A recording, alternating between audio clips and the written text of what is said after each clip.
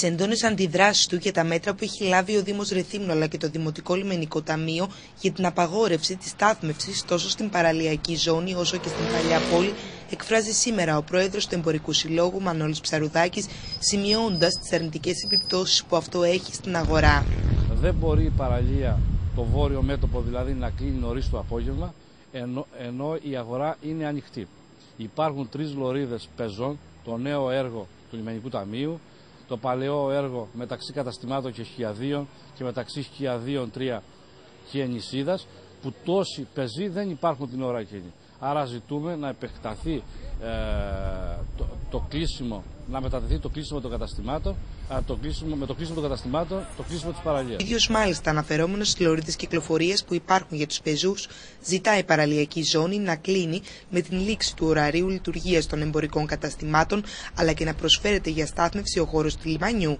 Κάτι όμως που είναι παράνομο, καθώς το συγκεκριμένο λιμάνι είναι εμπορικό. Το λιμάνι, δηλαδή, στο Ρέθυμο, μπορεί να εξυπηρετήσει ε, ως χώρος πάρκινγκ σε ώρες αυτές που είναι η αγορά ανοιχτή. Πρέπει να επεκταθεί η δωρεάν στάθμευση στη Μαρίνα Ρεθύμνου και τις μέρες που είναι ανοιχτή η αγορά. Τρίτη, Πέμπτη Παρασκευή. Και η, μία ώρα, η μισή ώρα δωρεάν να επεκταθεί τουλάχιστον, να επεκταθεί τουλάχιστον σε μία ώρα. Σε μισή ώρα δεν προλαβαίνει κανείς να κάνει τίποτα.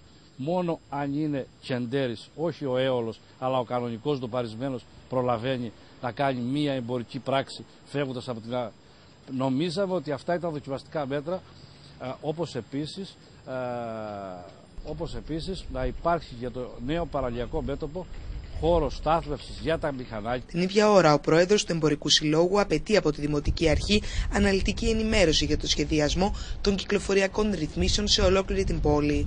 Είμαστε, δεν έχουμε σχέση και δεν έχουμε γνώση για το τι σχεδιάζεται και ζητούμε με την παρέμβασή μας και τις προτάσεις αυτές να αρχίσει αυτός ο διάλογος και να πάμε ε, σε μια καλύτερη λειτουργία της αγοράς.